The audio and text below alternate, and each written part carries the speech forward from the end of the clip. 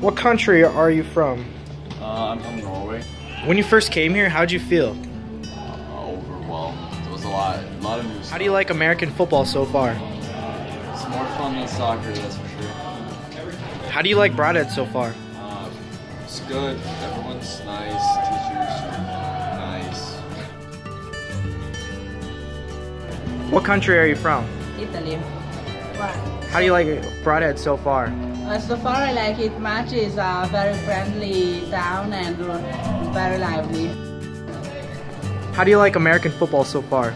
Well, so far I like it much even if I'm not very good at it. Uh, What country are you from? I'm from Germany.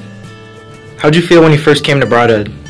When I the first time I drive I drove by Brodhead, it was kind of nice because I really like these red bricks. Um, and yeah, and I like the Cardinals.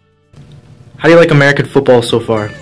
So far, it's really good. I mean, we we lost some games, but luckily we won like very much games, and it's very emotional. And I never had this experience before, so football is really nice uh, compared to soccer too.